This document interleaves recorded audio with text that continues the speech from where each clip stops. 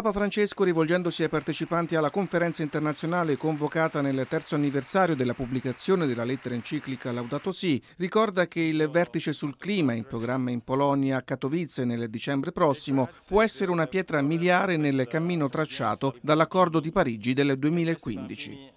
Tutti sappiamo che molto deve essere fatto per l'attuazione di quell'accordo tutti i governi dovrebbero sforzarsi di onorare gli impegni assunti a Parigi per evitare le peggiori conseguenze della crisi climatica.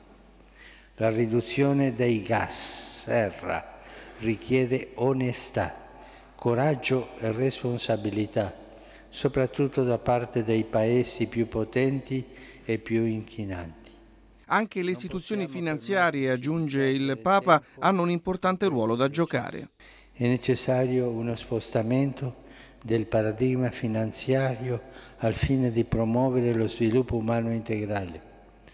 Le organizzazioni internazionali, come ad esempio il Fondo Monetario Internazionale e la Banca Mondiale, possono favorire riforme efficaci per uno sviluppo più inclusivo e sostenibile.